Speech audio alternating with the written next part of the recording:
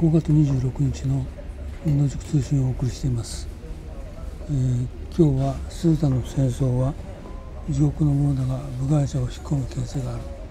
2日目です。アフリカの角は重要な貿易ルートの上に位置している。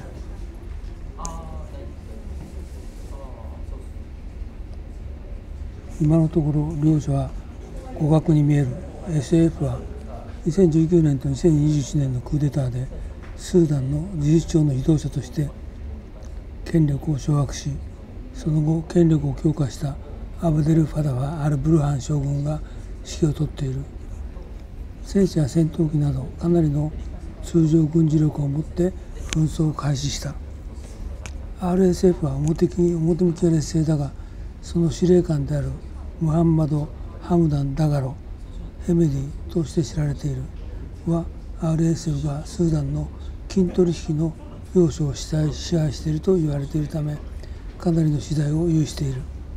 彼はまだ数万人の忠実な軍隊を率いている。ダガロ氏が2019年に旧独裁者オマール・アール・バシルによる残虐なイスラム主義政権が打倒された後の移行期の主導権をブーラン将軍と将軍と争い後に同国の副大統領に就任できたのはこうした資産のおかげであった。近年国際舞台で自律的な存在として外国勢力と取引を行うようになったのも銃と金のおかげかもしれない。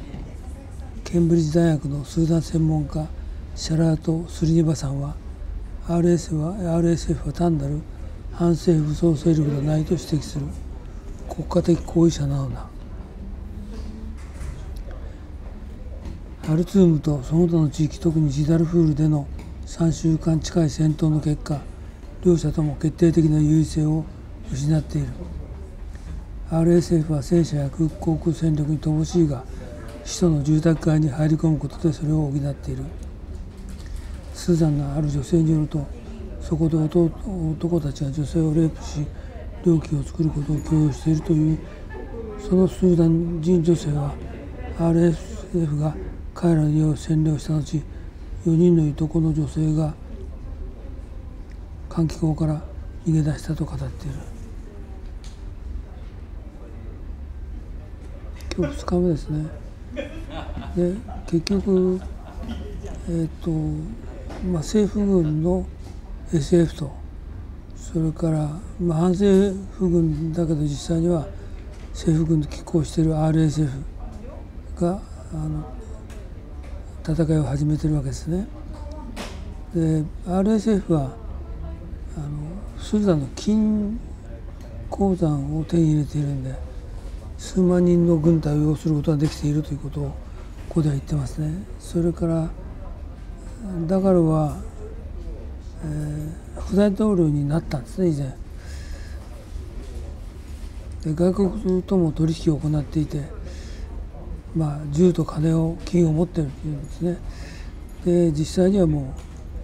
う国家に近いということを言ってますねで